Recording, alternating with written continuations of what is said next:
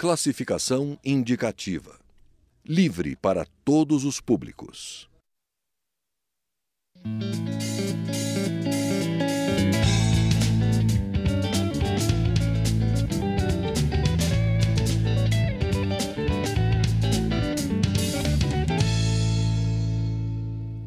Quando o deputado Aliel Machado, da Rede Sustentabilidade do Paraná, presidiu a Câmara Municipal de Ponta Grossa, foram instalados rastreadores em todos os veículos oficiais da Câmara.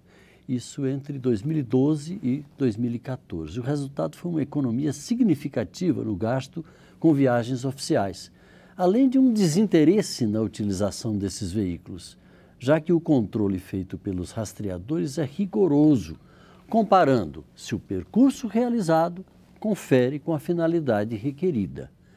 O deputado, preocupado com a necessidade de se combater a corrupção, apresentou o projeto prevendo a aplicação desses rastreadores em todos os veículos oficiais do Brasil.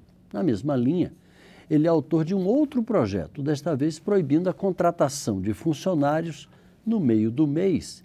E esse funcionário tem o direito de receber salário retroativo. Deputado está aqui com a gente. Deputado, é, nesse esforço pelo combate à corrupção, muita gente diz o problema não é legislação, o problema é cumprir as leis existentes. Já seria um, um ganho muito grande. Mas os dois projetos a gente vê que têm um objetivo muito claro e são muito, são muito é, é, de, de, aplicação muito prática, né? muito rápida. Né? Com toda certeza. Eu agradeço a oportunidade de estar aqui novamente eu venho de uma linha de atuação dos movimentos sociais, que é buscar combater a desigualdade. Combater a desigualdade é ter justiça, ter justiça é não cometer atos de corrupção. Se nós, se nós levarmos a rigor, já existe hoje sim é, punições para todos esses atos, caso eles sejam feitos de maneira ilícitas. Porém, nós temos dificuldade de controle. A apresentação desses projetos de lei, ele busca trazer transparência e busca aproximar mais a população do poder público.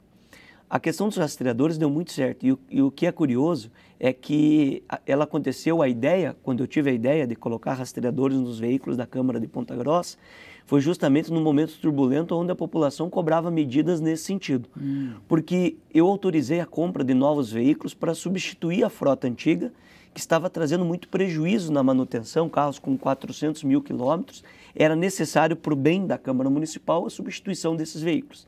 E parte da população que não acredita eh, nos políticos dizia, vai comprar carro novo para atender política. E a ideia não era essa, eh, nunca foi. Aí, é, vendo essa cobrança da população e muitas pessoas reclamando que vinha um carro indo para shopping, que vinha um carro indo para para a é, praia, é antigo, que né, vinha um gente? carro levando mulher de vereador, que, e, e muitas falácias, muitas conversas, escola, né? levando para a saúde, que não era o trabalho da Câmara, deixando, fazendo politicagem. É, foi me apresentado a ideia dos rastreadores. E ela foi uma questão fantástica e uma das medidas que eu tomei que mais me orgulha porque o resultado, quando você vê que... A... É, são caros, deputado, desculpe lhe interromper, são caros esses rastreadores Eles são serem extremamente baratos, pelo contrário. Com essa tecnologia de hoje, ele já, dizer... ele já traz lucros desde o início. Primeiro, carro com sistema de rastreamento, seguro já cai quase pela metade, porque ah, é? você apresenta que Olha. o carro tem rastreamento.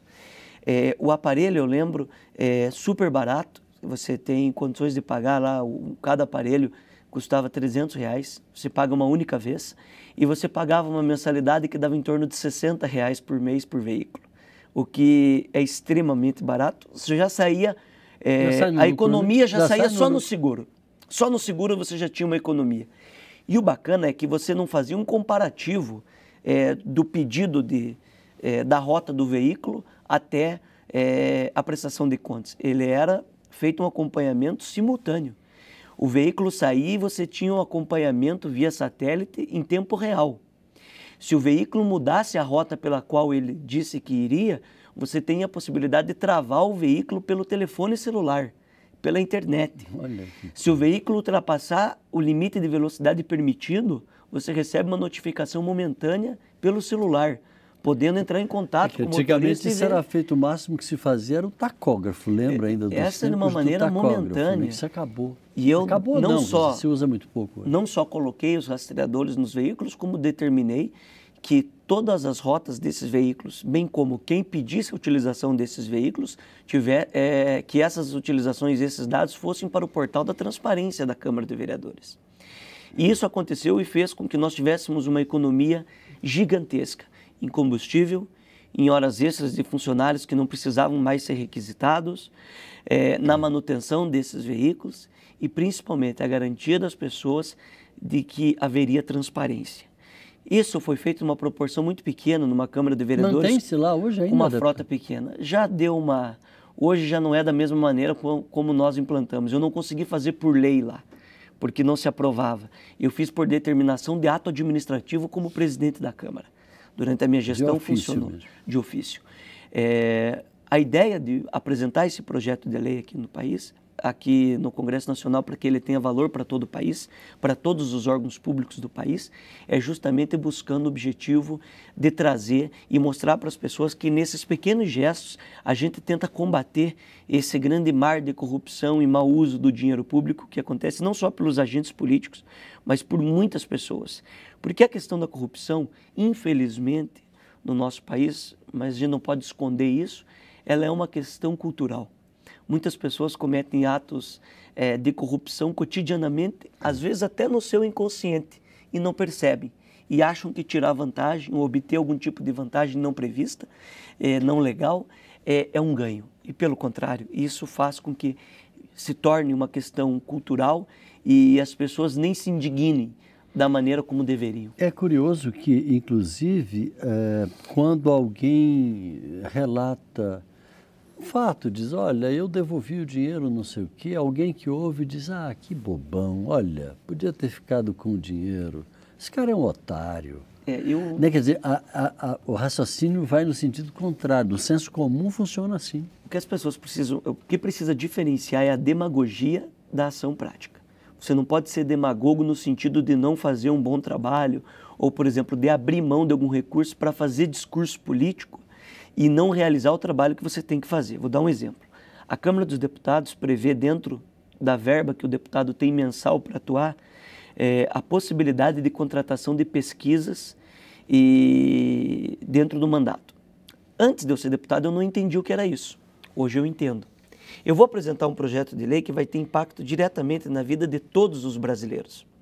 Eu preciso estar fundamentado com dados, uma equipe técnica que me dê condições de apresentar. Se for o caso e necessário, é importante você ter condições. Você não pode fazer demagogia em cima disso, bem como você tem que ter responsabilidade e saber responder por tudo que você fez.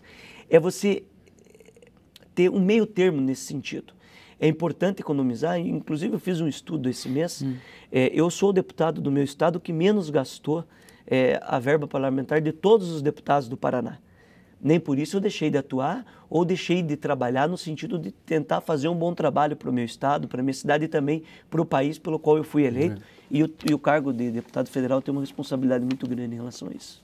Pois é, mas na, na, maioria das vezes os que fazem isso são até ridicularizados na intimidade. Ah, mas aquele deputado fica aí posando de, de, de, de, santa. de santa, etc. É um bobão, devia estar, né?